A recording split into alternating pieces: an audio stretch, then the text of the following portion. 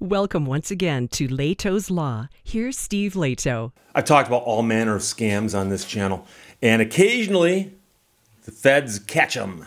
And that's always good news. The DOJ, Department of Justice, announces they just busted eight people for the infamous grandparent scam. The grandparent scam.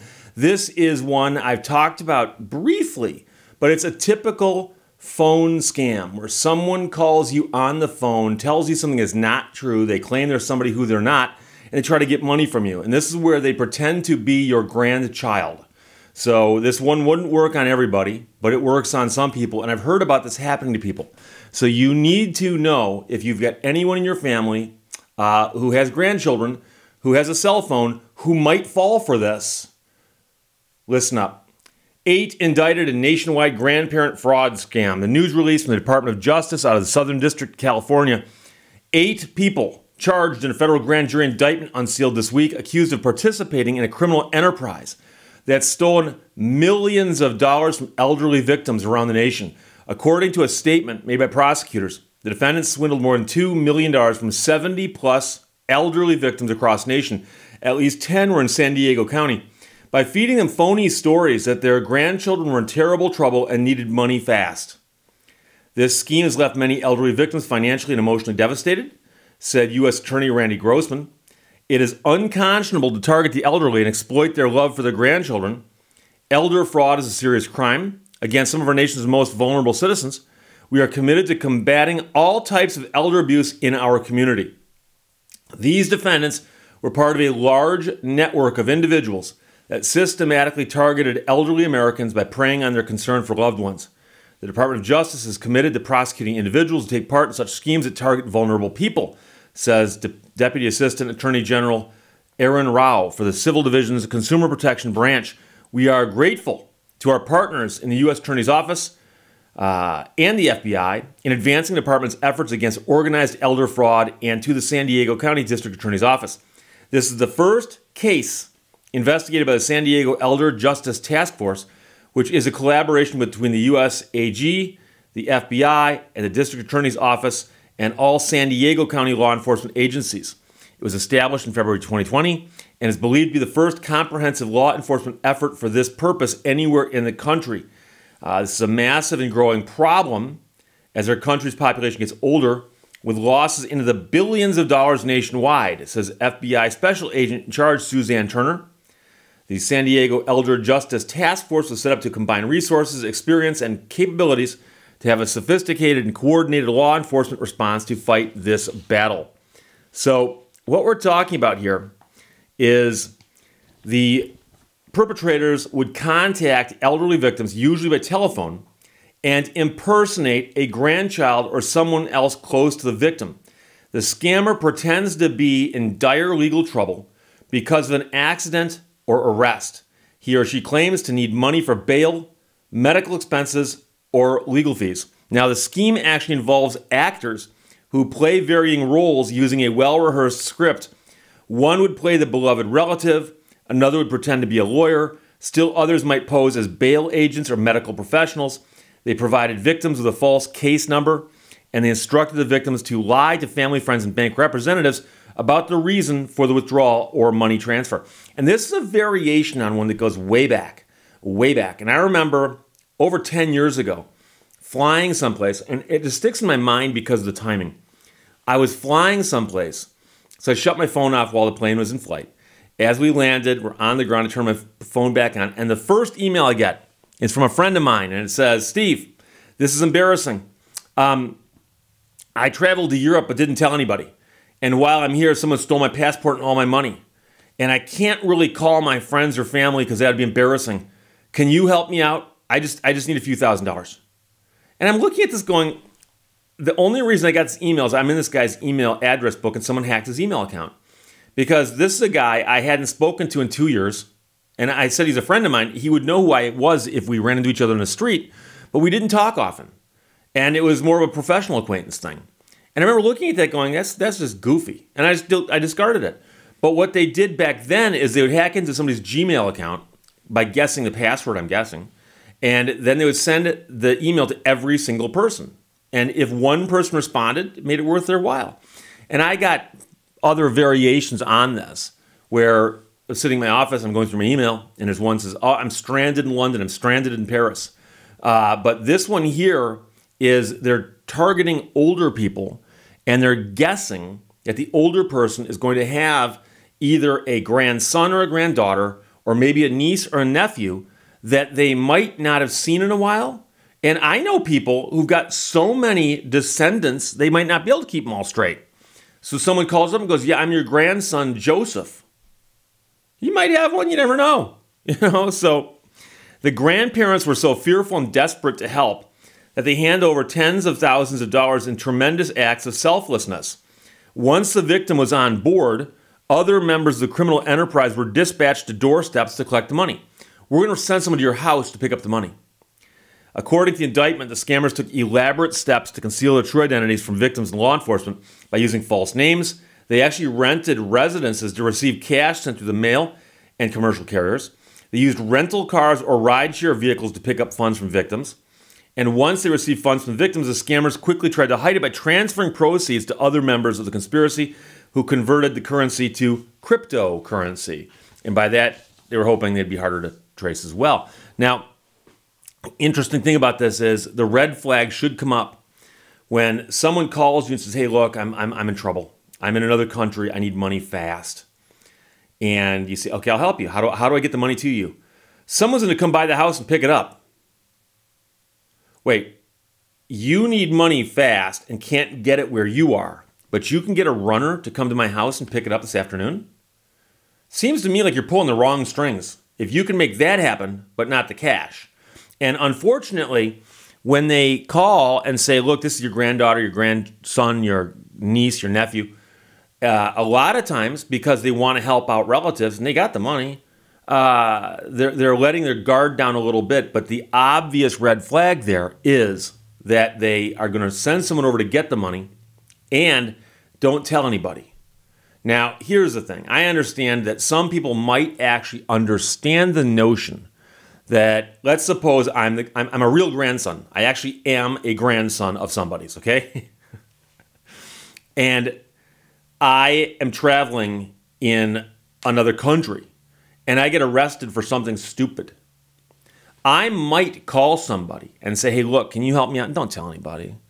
But the person to call and ask that of is going to be somebody I trust very, very much. They know who they are, I know who they are, and beyond that, that wouldn't get out. Ask yourself when you get this phone call or talk to your loved ones about this. When someone says, Can you help me out don't tell anybody? Ask yourself, Would you be the one they'd be calling for that? That is the top secret favor? Because that's usually a problem also. According to documents, one defendant collected $33,000 from three different victims in a single day. Messages from the phone reveal that he's provided victims' names and addresses and used a fake name to collect money from the victims. In a text exchange with a co conspirator, the defendant asked, uh, What's going to be my name? G O N, what's going to be my name? According to the indictment, one of the victims lived in Oceanside. She's 87 years old and is identified in the indictment as JD. She received a phone call on May 11th, 2020, from a woman claiming to be her great, uh, excuse me, her granddaughter. The caller said she had been arrested following a car accident and needed $9,000 for bail. She then turned the phone over to her supposed lawyer, who warned the woman not to discuss this with anyone or risk violating a court gag order. Why would there be a gag order on posting bail money for somebody?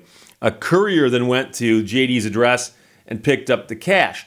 The next day, a man claiming to be an accident specialist called JD and claimed that the other party in the vehicle collision had lost her baby as a result of the accident.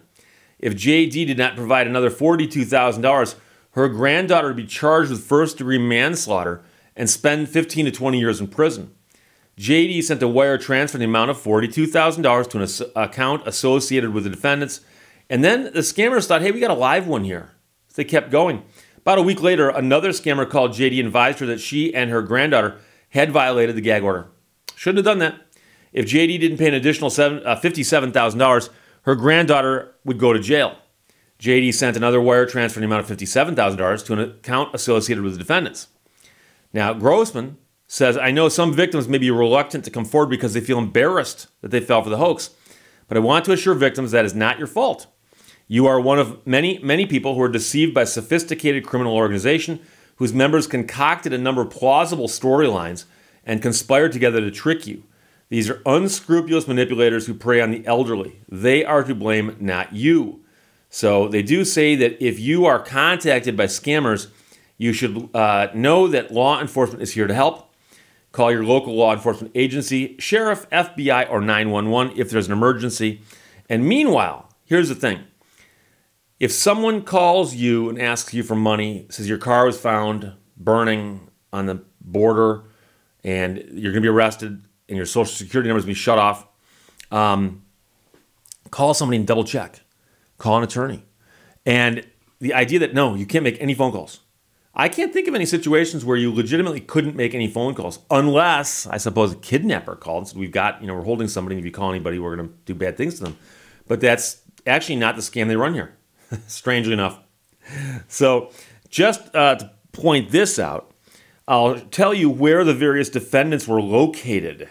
So Orlando, Florida, Pembroke Pines, Florida, North Hollywood, California, uh, North Hollywood, California, Laveen, Arizona, Hollywood, Florida, Paramount, California, and Orlando, Florida. So these people are scattered all around the country. And remember, it was a rather sophisticated scheme in that they had several people involved in each scam. So you get the phone call and they go, "Hey, is this grandma?" Yes, it is. Well, well, I, am your granddaughter, um, Bailey, uh, and and I'm in trouble. I'm in trouble. I'm, I'm actually in jail right now. They're letting I'm, I'm they're letting me. Uh, I'm using a cell phone of my attorney. That's why you don't recognize the number. And um, I'm going to hand the phone to my attorney right now. He's going to explain to you what's going on because I'm in a lot of trouble. And then there's another. There's a person there posing as an attorney. And and then when the attorney says, "Hey, you know, we need the money. Can you can you can you come up with the money today?" If you say yes, the attorney then says, "Oh, I can get someone to come by the house and pick it up." That's a third person who's going to come by the house and pick the money up. And so they've actually got a bunch of people who are working on this. It's, it's you know, I, I will, I will get this comment below. I'm going to make it now and kind of blunt the fun for somebody. Um, but if people put this much effort into a real job, they might actually make money. Uh, the amount of work that goes into these scams, I, I guess you make more money scamming people. But the point is that that some of these people are working hard at scamming people. It's like, why not go and get a real job? so, in case you're curious about the charges, uh, Title 18 USC Section 1962, Sub D. Conspiracy to conduct or participate in an enterprise through a pattern of racketeering activity. Racketeering activity. Uh, sounds a lot like RICO, which we don't hear about that often in real life. We often hear it threatened, but in reality, this might be because it's a bunch of people acting in a criminal conspiracy, which is exactly what RICO is designed to go after. By the way, the maximum penalty here is 20 years in prison and a fine of not more than greater the twice the amount of gain or loss or $250,000. So um, twice the loss or 250. Take your pick. Uh, agencies involved in this, by the way, uh, involve all kinds of Department of Justice, FBI, Elder Task Force, Police Department, Sheriff's Department, Carlsbad Police, Chula Vista Police, uh, National City Police Department, Coronado Police Department. The list is almost endless, although it is you know, confined to a single page, so I guess it's not really endless. But as with the other scams I've talked about in this day and age, you might not fall for it. I wouldn't fall for it. Funny part is, I'll tell you right now that I've put some fair, fairly, fairly good blocks on my various phones. And um, the funny part is that one of the screening systems I've got will screen calls, and if they don't come out right, it'll basically dump someone into a voicemail. And I never get notified the call was made, but I will I will get up I will get the voicemail. I got one yesterday that was like that. My phone recognized it as spam, but somehow dumped it into the voicemail, and it actually said uh, it was a computerized voice, and all I heard was, "If you do not call now, you will be arrested." I thought ah, I wanted to talk to those people because apparently I'm about to be arrested. So you need to think who in your circle of friends and family might fall for something like this. because it's unfortunate. They are targeting the elderly, and they're doing it because the elderly often have money, they often got a bunch of grandkids, and they often would help somebody who is in trouble. And when somebody calls them and they're not busy and they answer the phone, and someone tells them a sob story, their knee jerk reaction is to believe it. And, and there are people out there whose tendency is to believe something until it's proven false. Now, as you might know, I'm a skeptic. I tend to disbelieve almost everything until it's proven true. But when someone calls you on the phone, all bets are off you don't know who they are. And you need to get that point across to the loved ones in your life who might be targeted by such a scam. So, this is good news. Eight people indicted. It's a national news. These eight will be dealt with. And hopefully, as word gets out about this, this type of scam won't work as well in the future. So, Keith sent it to me. Thanks a lot. The story is from the Department of Justice's own press release. Eight indicted in nationwide grandparent fraud scam. And the good news is that they are facing up to uh, 20 years in prison and some rather large fines. Questions or comments? Put them below. We'll talk to you later. Bye bye. Thank you for watching Lehto's Law. Because in the end, you won't remember the time you spent working in the office or mowing your lawn. Go climb that mountain.